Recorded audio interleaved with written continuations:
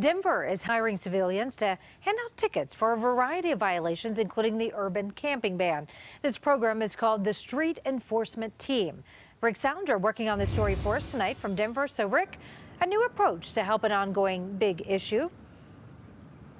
Yes, it is, Karen. You may remember that a Denver County Court judge had found the urban camping ban to be unconstitutional, but that was later reversed on appeals. Now the city is looking at a new way to enforce it.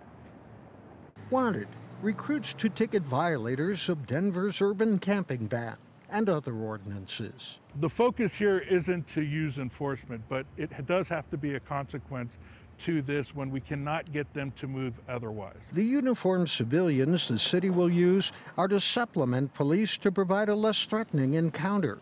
But some advocates for the homeless populations now being blocked out more often don't necessarily care for the idea. It's just another escalation for ways in which the mayor has influence to invade the camps.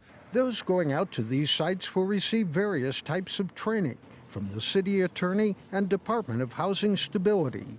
Relations between some homeless advocates and the city have been tense. Protesters carrying tents that read Home Run for the Homeless attempted to march to Coors Field for the start of the All Star game, but were blocked by police. As we moved, we were increasingly met with larger and larger opposition from the police, including a SWAT team came in. At one point, a woman described as a Buddhist monk was laying down on the ground. Police told her to move. She apparently wanted to forge ahead and was escorted back into the crowd.